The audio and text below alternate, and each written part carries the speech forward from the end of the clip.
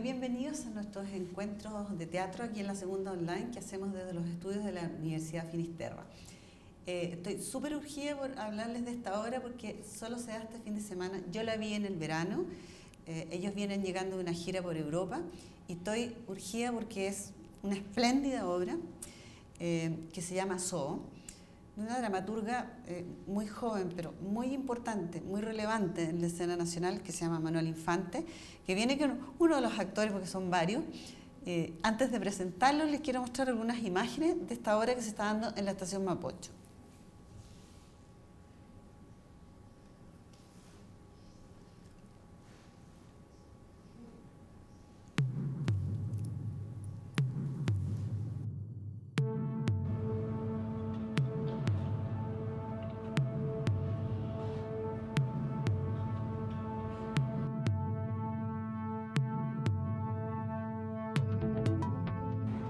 Estar aquí um, ha significado um, un riesgo.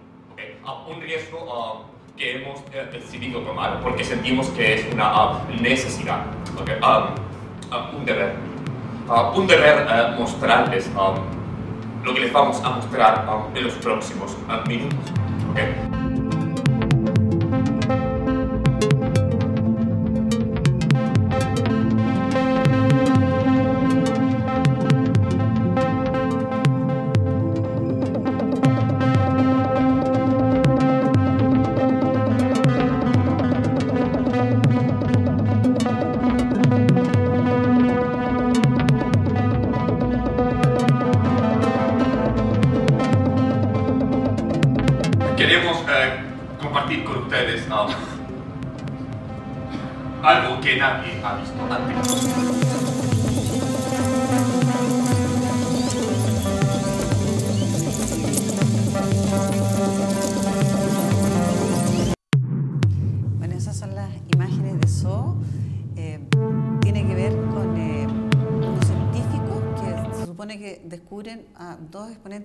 Etnia que se suponía extinta y está directamente relacionado con estos zoológicos humanos que se conocieron en algún momento cuando Darwin empezó a hacer esta investigación. Por ahí parte la obra.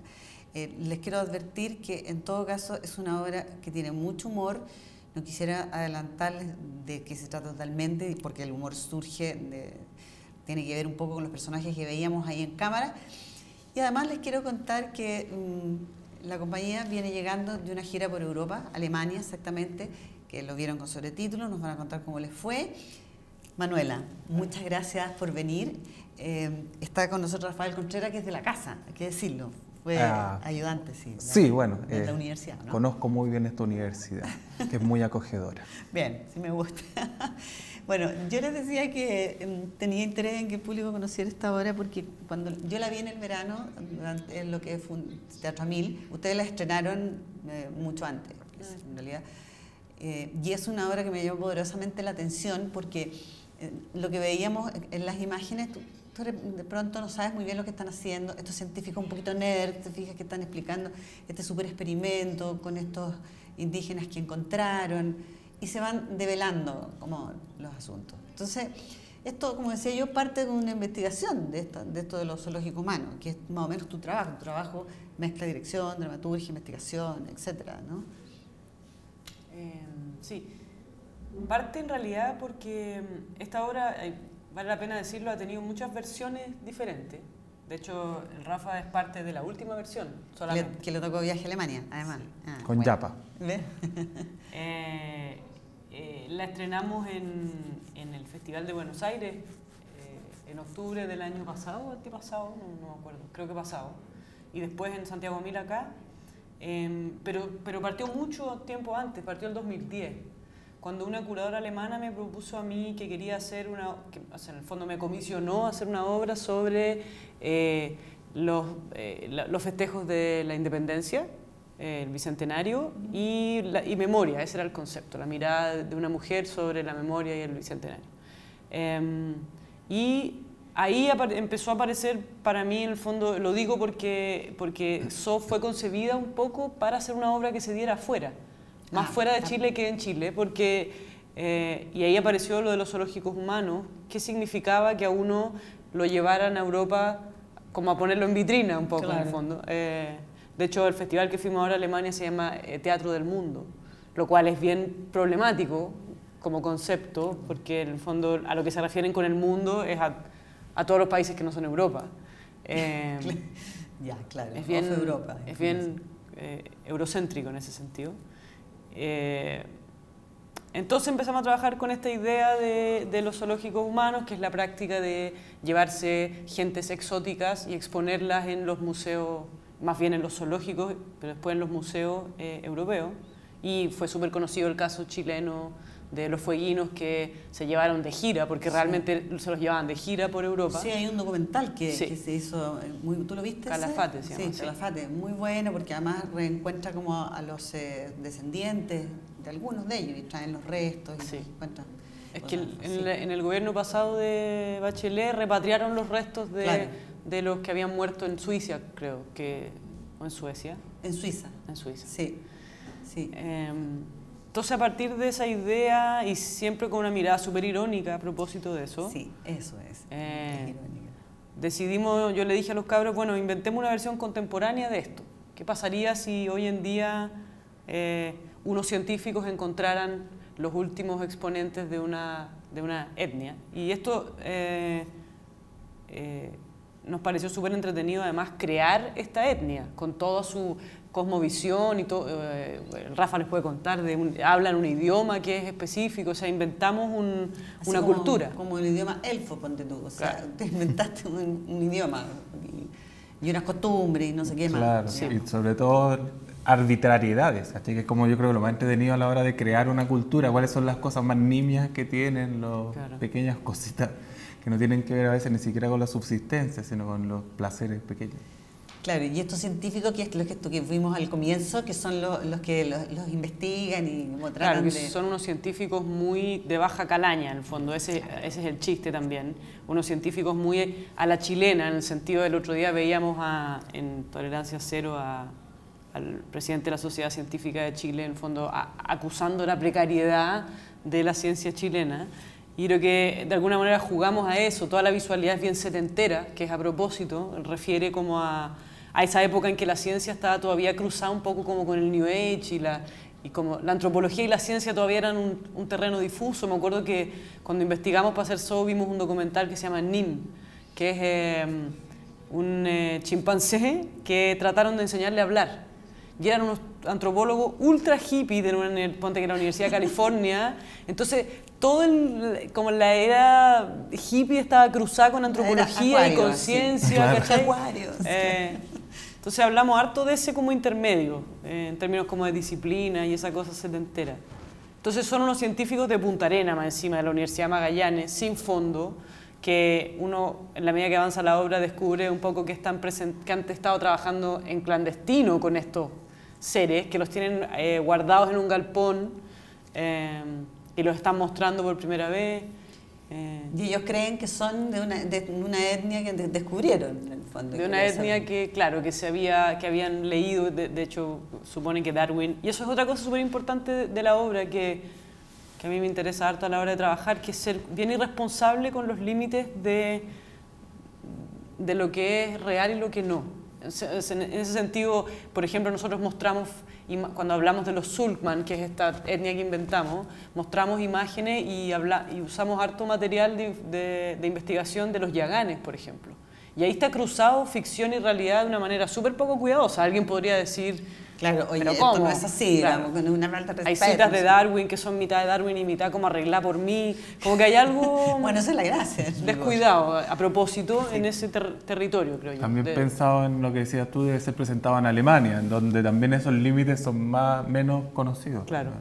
También es cierto. Bueno, a ti te tocó actuar en Alemania. eh, eh, vienen llegando, de hecho.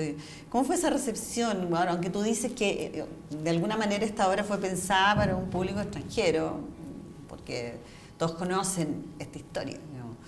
Pero ya el montaje está, tiene harta sutileza el montaje. O sea, uno se ríe porque hay situaciones irónicas por lo que tú estás describiendo, porque los científicos dicen, es como, esta cosa setentera es como bien precario todo lo que tienen y los descubrimientos que hacen son bien de Donoto, hablando de Alemania en realidad. Y, y a su vez esta- estos indígenas como que les toman el pelo un poco, digamos.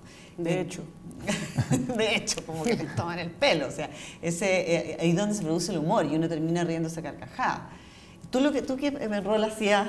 eh? Yo era un científico, que ahí en las imágenes que mostraron lo interpreta Juan Pablo eh, Peragalo. A mí me interesó mucho el presentar la obra ya porque, bueno, yo estaba muy cerca como para saberlo, pero sí tenía la impresión de que el conflicto mismo podía generar como sentimientos de culpa en el, en el espectador, la sensación de que el mundo europeo no, Sí. no tuvo muchos problemas en, en hacer esto hace un tiempo y ahora estamos hablándole de esto con buena onda, porque los científicos en el fondo poco, están claro. cumpliendo ese mismo rol del europeo, el que, el que trae y presenta. Eh, entonces, claro, sin ningún problema, pero, pero claro, yo sentía que ahí algo, algo en la recepción del público podía ser, nosotros podíamos jugar un poco más, algo que nos pide como Manuela, una especie de crueldad a la hora de, de ser, eh, no sé, frío con el, con el humor. Eh, pero también eso mismo nos hacía dudar acerca de cómo era la recepción. De repente decíamos esto como que un poco de sentimiento de culpa o de mírenlo a ellos viniendo con su historia, también una, una onda un poco más buena y voluntariosa de parte de ellos.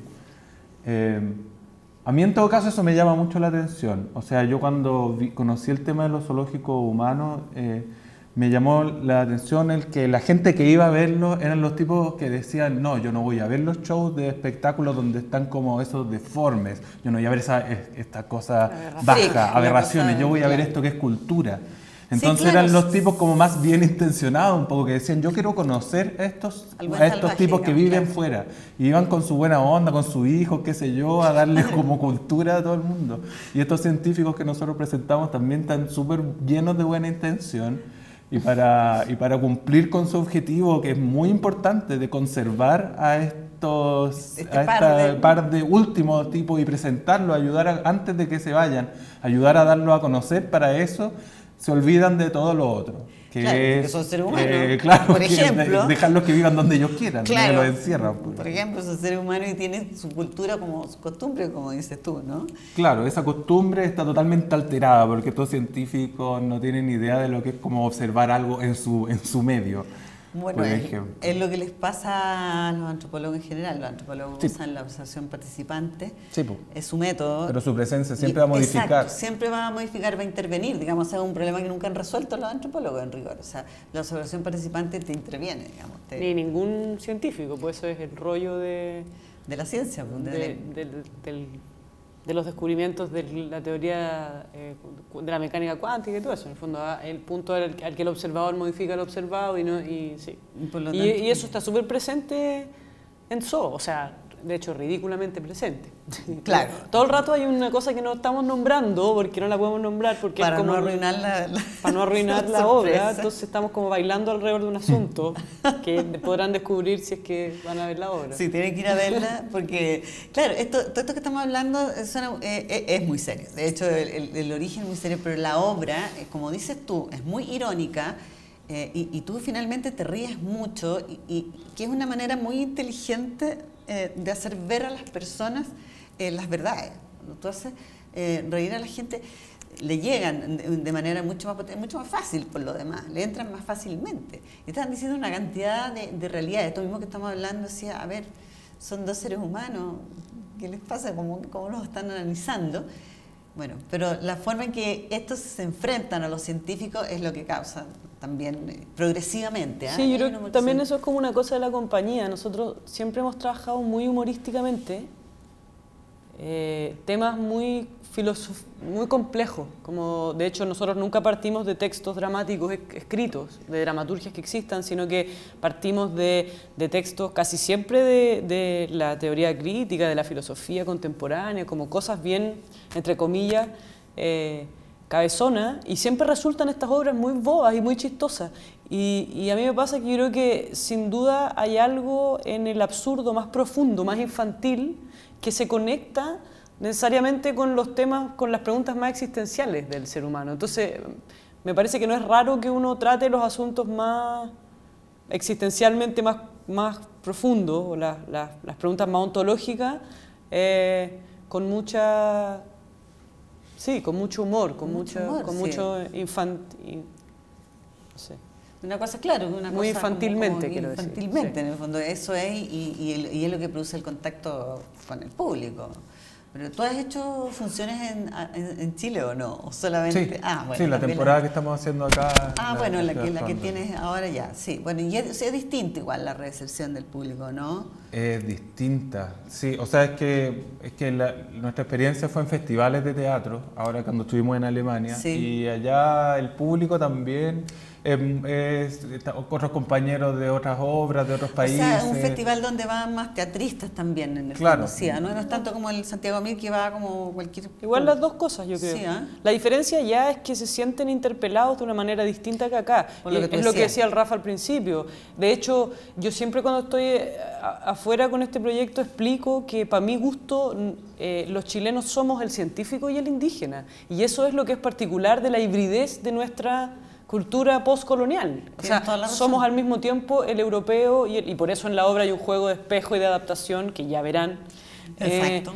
pero en el fondo somos los dos lados y siento que allá lo que la gente lee es el científico son lo- somos nosotros y, Y los ellos son los indígenas, claro. y nos vienen a hacer esta como acusación. eh, entonces creo que hay, que hay una resistencia ya eh, a esa primera lectura, ¿no? Ah, nos vienen a, a encarar algo que hicimos. No a apuntar con el dedo. Exacto. Sí, y yo siempre, o sea, las conversas que hemos tenido post función, he tenido que explicar eh, que, que cuando yo me cuando yo me identifico, o sea, yo no me identifico ni con uno ni con el otro, sino que en la extraña relación o el resultado de cruce entre el uno y el otro, que es lo que es que somos como chilenos, ¿no? Claro, y además como bien apuntas tú, fíjate que son dos científicos de una universidad en Punta Arenas, o sea, ya eh, si somos del sur del mundo, más al sur todavía, somos más al sur del mundo. en. Pero entonces acá la, la- afuera la recepción tiene como esa resistencia a, a que, a que se tienen que defender eh, de entrada, siento yo. Y acá eh, no hay ese elemento, pues la gente se sienta en la butaca y se ríe de principio a De fin. principio a fin. Con, con- digo, sin... No pasa por ahí la reflexión, sería interesante saber por dónde pasa, pero, pero no es ese asunto tan... Para allá, allá el tema, de hecho allá se- eh, la definen como una obra eh, post- que habla del tema de, la- de lo postcolonial. Y creo que acá no necesariamente alguien lo definiría así, como el asunto. No, real- claro, no realmente, además que lo que tú acabas de decir es bien importante, esta cosa que es como setentera, que sé yo, porque es como bien elemental, es como bien básica, también te da como una idea de lo que tú estás diciendo, o sea, porque es, mm, no son unos grandes científicos, no- o sea, evidentemente ellos también están cayendo en la misma ingenuidad de los europeos, o sea, somos eso, como, como, como ese grupo. Claro, también yo creo que da la idea este look setentero de la caducidad de la ciencia, de que vivimos momentos en que todo lo que se está diciendo parece muy cierto porque está avalado por algún científico Es y verdad, ¿eh? No- años después eso ya no, ya, ya no vale. Ya no va, bueno, vale. la ciencia es así, o sea, progresa, va avanzando. Pero siempre está con la idea de que lo que se está diciendo ahora es una especie de Yes, verdad. Claro, es como la verdad absoluta. Y un científico sabe que no es así. La ciencia está siempre se está haciendo, revisándose en el fondo, que eso es lo que tiene. Bueno, eh, ahora, ustedes están en la misma sala donde yo fui en la estación Mapocho, esa que está arriba, porque ustedes están como en residencia, el grupo, el grupo de teatro que han estado haciendo. Eh, también eh, comentaste que habían partido en Buenos Aires, ¿no? Sí. Ya, ¿Y eso cómo fue, por ejemplo? Que Buenos Aires es otra experiencia de lo que es con Alemania. Es que además la obra en Buenos Aires era completamente otra obra, porque duraba una hora y cuarto más.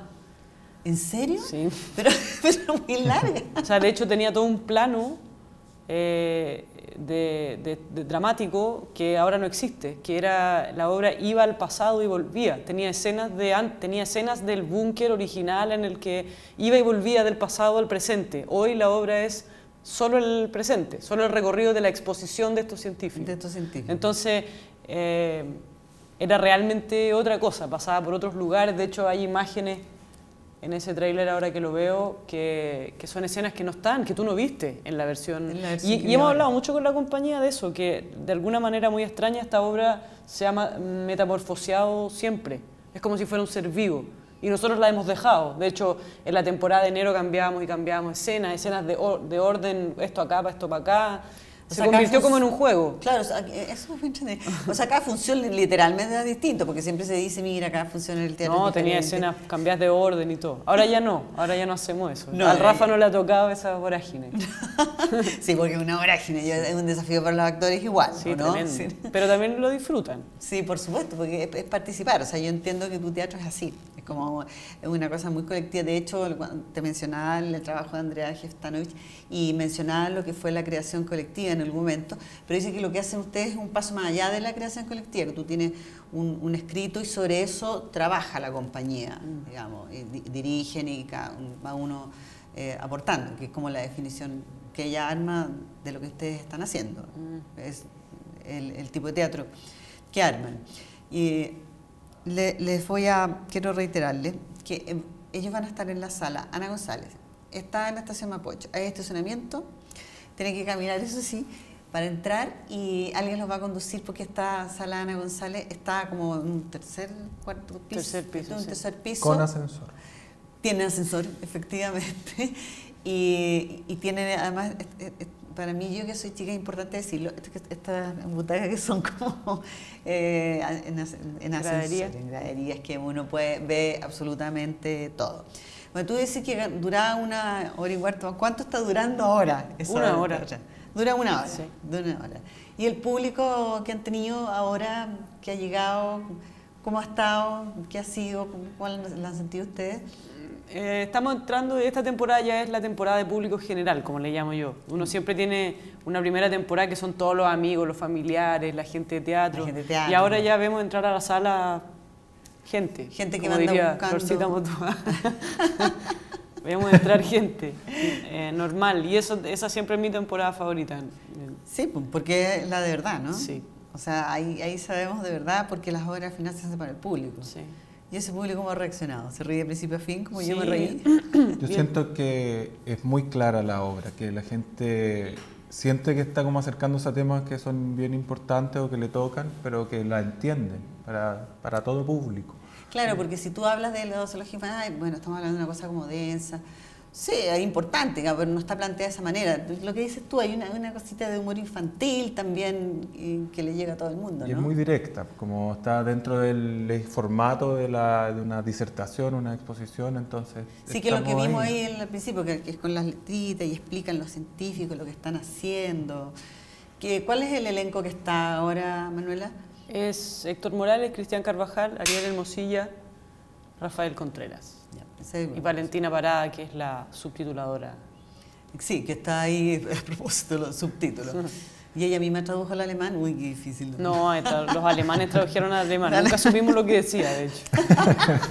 Que supe lo que sea, me parece bien. Una confianza, un acto de fe. Un acto de fe que hicieron. Acto de fe. Bueno, eh, estamos en el tiempo. Eh, muchas gracias por haber venido. Gracias a ti. Les insisto que eh, si yo los invité, en todo caso es un honor tener a Manuel Infante acá, les voy a decir. De verdad, eh, es un- una persona muy importante en el teatro chileno. Pero si los invité es porque quiero recomendárselas así, pero fervientemente. Yo la vi en el verano y, y cuando vi que estaba en cartelera de nuevo, quise empezar estas eh, sesiones de teatro con esta obra porque no se la pueden perder. Vayan Quedan a dos. verla. Quedan Dos. dos funciones, Sí. Viernes Viernes y domingo. domingo. viernes y domingo, ¿ok? No se la vayan a perder, por favor. Nos vemos luego. Gracias. Ah, yo la tenía viernes y sábado.